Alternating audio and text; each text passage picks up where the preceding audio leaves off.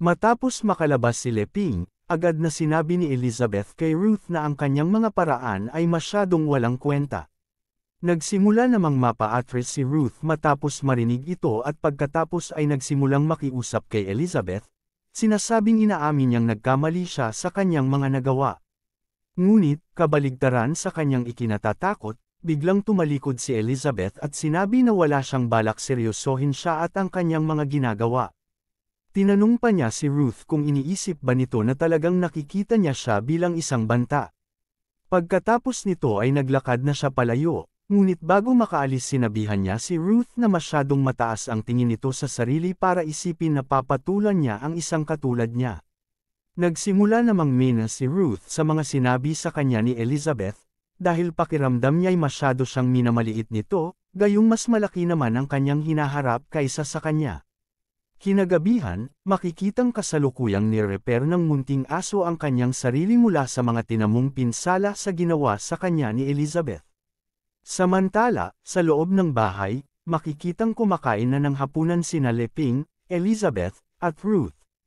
Sa sandaling iyon, matapos maubos ni Ruth ang kanyang pagkain, agad siyang nag-level up patungo sa isang 3-star Demon King. Nang makita naman ito ni Leping, Napansin niya na napapaungol si Ruth matapos maubos ang nasa kanyang plato. Kaya tinanong niya kung gusto pa ba nito ng extra servings, ngunit bago pa makasagot si Ruth, napansin niyang biglang damyugo ang kanyang ilong. Kaya agad niyang sinabi kay Leping na sapat na iyon dahil busog na siya. Ngunit, sa loob-loob niya, iniisip niya na ang magical food na inihain ni Leping ay nagtataglay ng napakalaking enerhiya. Dahil dito, agad na tumaas ang kanyang level matapos kainin ito. At bagamat gusto pa niyang tumanggap ng higit pang pagkain, natatakot siyang baka hindi kayanin ng kanyang katawan, lalo na't damyugo na ang kanyang ilong. Matapos marinig ang sagot ni Ruth, itinuon naman ni Leping ang kanyang pansin kay Elizabeth at nilagyan ng gabundok na pagkain ang kanyang plato. Sinabi pa niya na kumain siya ng marami dahil marami siyang niluto. Nang makita naman ito ni Ruth, Nagulat siya. Napaisip siya kung paanong ang ganitong bihirang klase ng pagkain ay itinuturing na normal lamang na pagkain ni Naleping at Elizabeth. Dahil dito, naisip niya na ang dalawang ito ay lumampas na sa Demon King level. Ngunit naguguluhan siya, dahil ayon sa kanyang kaalaman, ang Demon King level na ang pinakamataas na cultivation. Habang iniisip ito, napagtanto niya na ito marahil ang dahilan kung bakit hindi na ipinagpatuloy ni Elizabeth ang pamumuno sa mundo at piniling manatiling kasama ang legendary hero. Dahil sa parehong dahilan, mas lalo siyang naging determinado na mapunta sa kanya si Leping at matanggap ang mga benepisyong kasama nito. Kasunod nito, sinimulan niya ang kanyang plano sa pamamagitan ng pagsasabi kay Elizabeth na mukhang magana itong kumain. Tinanong pa niya kung hindi ba ito natatakot na baka hindi siya magustuhan ni Leping dahil sa ugali niyang iyon.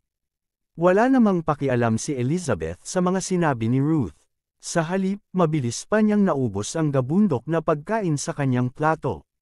Dahil dito, sinabi ni Leping na hinding-hindi mangyayari iyon, dahil kasiyahan niyang makita si Elizabeth na in-enjoy ang kanyang mga niluluto.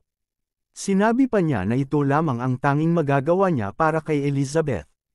Sa kabila ng pagkarinig nito, hindi pa rin nawalan ng pag-asa si Ruth. At sa halip ay sinubukan pa niyang kunin ang simpatsya ni Leping sa pamamagitan ng pagsasabing naiinggit siya kay Elizabeth, dahil gusto rin niyang kainin ang mga luto ni Leping araw-araw. Dahil sa narinig, ay naapektuhan na si Elizabeth, kaya inihampas niya ang kanyang kamay sa lamesa at sinabing naiinis na siya sa kanyang mga naririnig. Idinagdag pa niyang nawala na siya ng ganang kumain, ngunit hindi ito dahil sa sinabi ni Ruth, kundi sa sinabi ni Liping. Sa pagkakaintindi kasi niya, tila sinasabi ni Liping na ang tanging talento lamang niya ay ang kumain. Kasunod nito, umalis na siya sa lamesa at naupo sa sofa. Dahil dito, tinanong ni Ruth si Leping kung hindi ba siya pinupuri ni Elizabeth sa kanyang napakasarap na luto. Ngunit bago pa makasagot si Leping, Sinabi ni Ruth na marahil tama nga ang kasabihan na kapag nakuha na ng isang tao ang isang bagay, hindi na nito ito pinahahalagahan. Sinabi rin niya kay Liping na ang kanyang mga luto ay ang pinakamasarap na kanyang natikman. Habang patuloy siyang binobola ni Ruth, hindi naman siya masyadong pinapansin ni Leping. Dahil ang kanyang atensyon ay nakatuon kay Elizabeth, dahil napansin niyang tila malungkot ito. Naisip ni Leping na marahil epekto lamang ito ng buwanang dalaw ni Elizabeth. Ngunit kahit alam niyang ito ang maaaring dahilan, parang kinukulot pa rin ang kanyang puso tuwing nakikita niya si Elizabeth na malungkot. Makalipas ang ilang sandali ng hindi pagpansin ni Leping kay Ruth, pumunta na si Ruth sa banyo upang maligo. Habang nililinis niya ang bawat bahagi ng kanyang katawan, ginamit niya ang sabon na ginawa mismo ni Leping. Dahil dito, muling tumaas ang kanyang cultivation at umabot sa 4-star Demon King level. Dahil dito, naisip ni Ruth na ang pag-inom ng tubig, pagkain, paliligo, at iba pang simpleng gawain sa lugar na iyon ay nagbibigay ng hindi kapani-paniwalang mga benepisyo. Habang namamangha pa siya sa kanyang mga nararanasan, naalala niya na noong nagsisimula pa lamang siya, nagpa siya siyang sundan ang mga mas malalakas kaysa sa kanya upang mabigyan siya ng kahit konting bahagi ng kanilang lakas. Kaya hindi sumagi sa isip niyang pamunuan ang mundo noon, dahil imposible ito gamit ang kanyang kakayahan sa pang-aakit. Ngunit ngayon, muling sumagi ito sa kanyang isipan. Dahil naisip niya na kung makukuha niya ng tuluyan si Leping, walang duda na mapupunta na rin sa kanya ang buong mundo. Kaya't nagpasya siya na ang tanging layunin ng kanyang buhay ay mapunta sa kanya si Leping. Sa gayon, tuluyan na siyang makakawala sa kanyang nakaraan. Dahil dito, sinimulan na niya ang kanyang plano sa pamamagitan ng pagtawag kay Leping at sinabing kung pwede ba niyang dalhin ang kanyang mga damit sa loob ng banyo. Ngunit hindi masyadong narinig ni Leping ang kanyang mga sinabi, kaya tinanong niya si Ruth kung tinawag ba siya nito. Sa sandaling iyon, lumabas na si Ruth at sinabi na kalimutan na lamang niya ang kanyang sinabi, dahil nakahanap siya ng towel sa loob ng banyo. Nagulat naman si Leping nang mapansin na kanyang towel ang ginamit niya. Sa kabilang banda nang napansin din ito ni Elizabeth, ay nagsimula na naman itong mina sa hitad na babaeng ito. Ngunit walang pakialam si Ruth sa galit ni Elizabeth, at pumagitna pa nga sa pagitan nila ni Leping. Sinabi pa niya na wala siyang magagawa, dahil ang mga damit ni Elizabeth ay masyadong masikip para sa kanya. Kaya tinanong niya si Leping kung mayroon bang mga damit doon na mas kasya sa kanya. Samantala nang mapansin ni Ruth ang kanilang pinapanood, tinanong niya si Leping kung ano ang kanilang pinapanood at kung pwede ba siyang manood katabi niya. Ngunit bago pa niya magawa ang kanyang mga pang-aakit, biglang tumayo si Leping, kaya bumagsak si Ruth.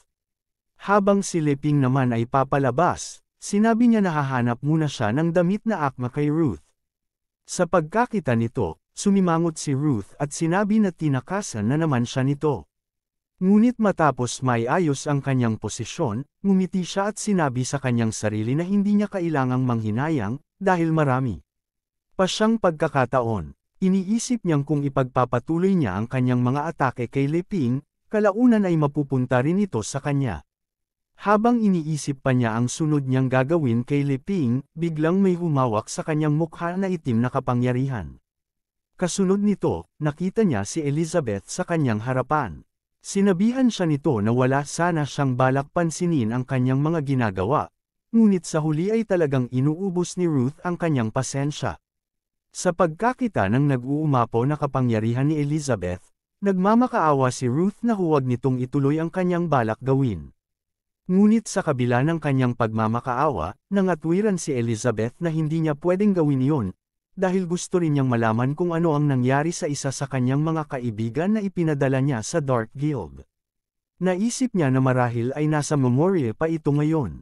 Habang pinipigilan ni Elizabeth na makakilos si Ruth, na patuloy pa ring nagpupumilit, sinabi ni Elizabeth na kung makikipagtulungan si Ruth sa kanya, hindi siya kailangang mag-alala dahil hindi siya mamamatay.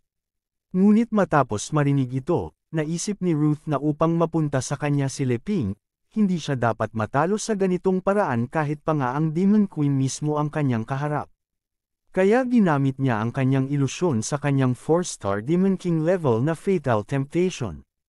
Matapos niyang gawin ito, natagpuan niya ang kanyang sarili sa isang madilim na lugar. Maging ang kanyang kasuotan ay nagbago na rin.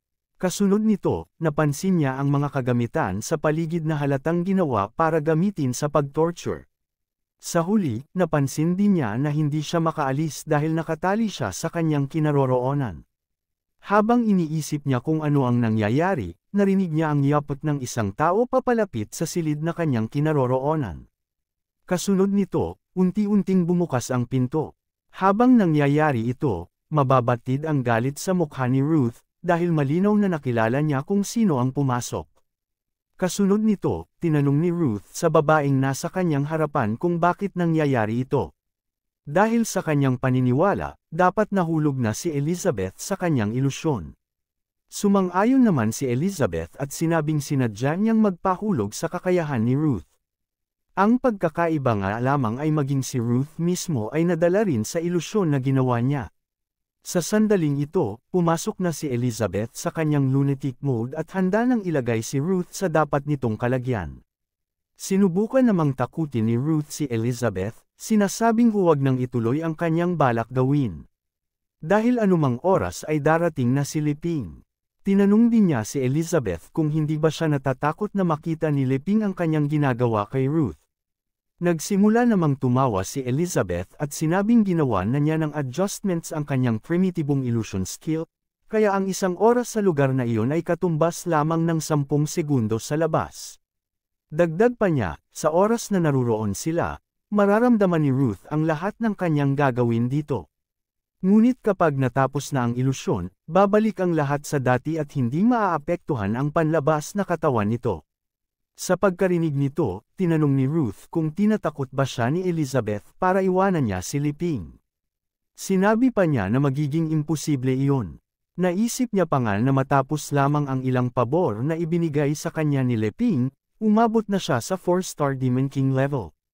Kaya naniniwala siyang kung patuloy siyang mananatili kasama si Leping, ang kanyang hinaharap ay magiging walang kapantay. Para kay Ruth, ang banta ni Demon Queen Elizabeth ay baliwala. Naniniwala pa nga siya na kung sakaling patayin siya ni Elizabeth, gagawa ng paraan si Leping para muli siyang buhayin. Ngunit habang iniisip niya ito, sinimulan na siyang atakehin ni Elizabeth gamit ang kanyang letigo. Habang paulit-ulit siyang pinapalo, sinabi ni Elizabeth na masyado siyang nag-o-overthink. Ang gusto lamang niyang malaman ay kung ano ang nangyari kay Emilia. Kasunod nito, patuloy pang inatake ni Elizabeth si Ruth sa iba't ibang bahagi ng kanyang katawan. Habang patuloy na sumisigaw si Ruth sa sakit, sinabi ni Elizabeth na nalaman niya na ang Dark Guild ay hindi pa rin tuluyang na wipe out. Wala pa rin siyang balita mula kay Emilia. Kaya tinanong niya si Ruth kung ang dahilan ng pag-abot nito sa Demon King level ay dahil nahuli nila ang kanyang alagang Golden Dragon na si Emilia. Habang umiiyak si Ruth sa kanyang dinaronas, sinabi niya na wala talaga siyang alam sa nangyari sa alagad ni Elizabeth. Ngunit parang walang naririnig si Elizabeth. Nagsimula pa nga siyang tumawa na parang nababaliw, sinasabing mas gusto niya kung patuloy na itatago ni Ruth ang kanyang nalalaman.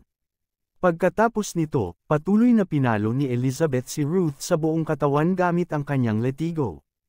Makalipas ang ilang sandali, huminto si Elizabeth. Dahil dito, sinabi ng nanghihinang si Ruth na wala talaga siyang alam sa kung ano ang nangyari sa alagad na iyon ni Elizabeth. Kasunod nito, nakiusap siya kay Elizabeth na pakawalan na siya. Ngunit tila hindi pa kontento si Elizabeth sa kanyang ginawa. Tinanong niya ulit si Ruth kung wala ba talaga siyang nalalaman sa kinaroroonan ni Emilia. Matapos ito, napangiti si Elizabeth. Naisip niya na bagamat wala siyang makuhang matinong sagot kay Ruth, Nakakaramdam naman siya ng kasiyahan sa kanyang puso, para bang naipaghiganti niya na ang mga pagtatangkang akitin ni Ruth si Liping, ngunit matapos niyang maisip yun, natanong niya ang kanyang sarili kung talaga nga bang nagseselos siya sa ginagawa ni Ruth kay Liping, ngunit bago pa masagot ang katanungan niyang ito, narinig niyang may tumawag sa kanyang pangalan. Abangan ang susunod na kabanata. Dito na po nagtatapos ang pinakabagong chapter.